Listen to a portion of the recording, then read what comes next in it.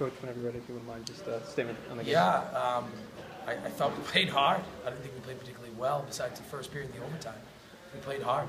Um, we just we, we cause a lot of our own problems uh, just by turning the puck over, not getting it in good places.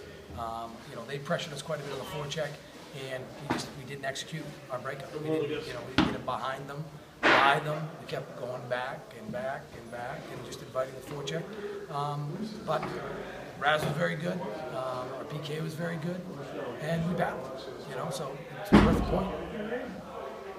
Uh, what did you, you guys stretch a little bit tonight too? Do you feel like you did a of the same things as last night, taking some of the pressure off in the future? Well, we stretched in the first. Uh, that was our game plan. You know, um, trying to score in the first period. And, you know, something that we struggled. with. Um, you know, and we stretched in the second. It wasn't nearly as effective uh, because we were just all over the place. Um, couldn't really settle it down. Um, hey, they played. They played hard. They're, you know, they're a good team. They moved the puck around. Um, but we came up uh, and got a point tonight, which we needed. Uh, do you feel like from, from last night tonight, you guys took a step forward, stayed where you were? um, forward in certain areas, compete. I mean, we may have thrown more hits in the first period than we threw in the last three games.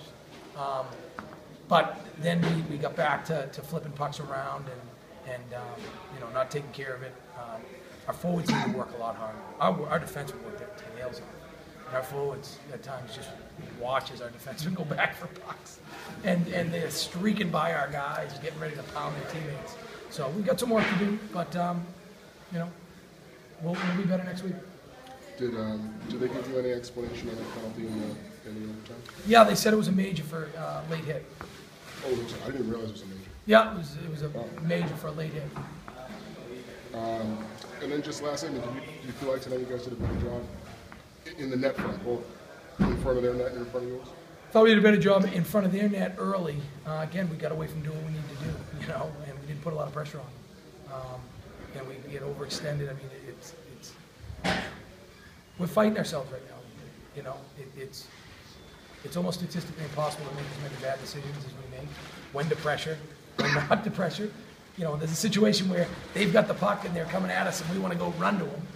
And then there's a foot race and we only have one guy going and not everybody's getting up for the play. So, um, you know, we- we've got to shed some of the mental duress we've had.